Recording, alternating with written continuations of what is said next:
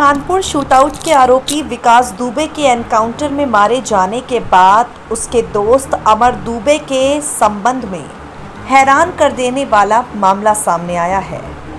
विकास दुबे के पिता के कई बयान हम आपको सुना रहे हैं।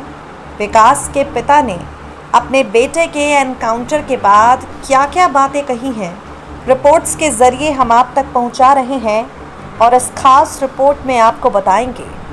विकास के दोस्त अमर दुबे के पिता संजीव दुबे के बारे में। गुरुवार को बिकरू गाँव में एक पुलिस ऑपरेशन के दौरान अमर दुबे के पिता संजीव ज़िंदा हो उठे, जबकि परिवार वालों ने सीधे तौर पर कह दिया था कि कई साल पहले ही संजीव दुबे मर चुके हैं। अमर दुबे को विकास का दाहिना हाथ माना जाता रहा है।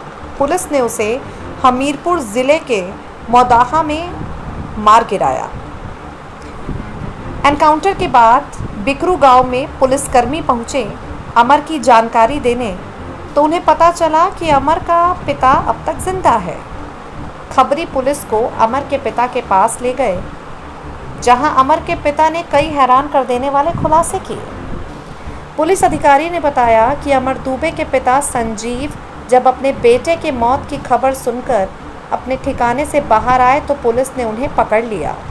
पूछताछ के दौरान पता चला कि वो एक दुर्घटना में बाल बाल बच गया था, लेकिन उसने अपना पैर खो दिया।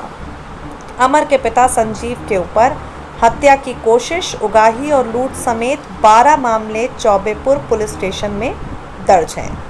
पुलिस अधिकारी ने कहा, संजीव दुबे सात साल पहले सड़क दुर्घटना के बाद अंडरग्राउंड हो गया। परिवार वालों से ये खबर फैलाने के लिए कह दिया कि वो मर चुका है ताकि उसके विरुद्ध चल रहे सारे आपराधिक मामले बंद हो जाए।